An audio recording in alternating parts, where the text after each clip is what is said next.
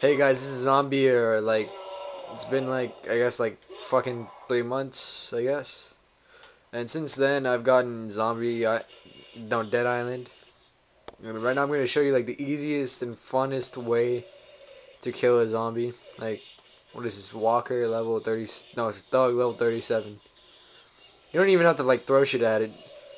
Like once you get in like the high levels, uh get like find a fucking sword or something well, right now I'm using like I think it's like a katana. I don't remember. A uh, it's Zed's. It's called Zed's demise. Um, and once you once you once you're like a high level, like high like thirty five or thirty seven or whatever, you can use this. So right now I'm just gonna slice the shit out. Of, oh, look, see, off with his arms.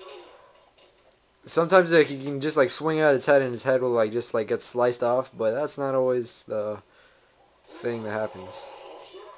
Shit's fucking nasty, bro.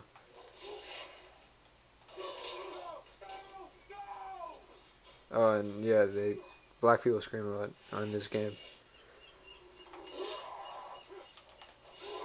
Alright, well, I, want I kind of want to throw the sword. Oh, never mind. That was some fucking awesome shit. And some zombie tea baggage. Alright.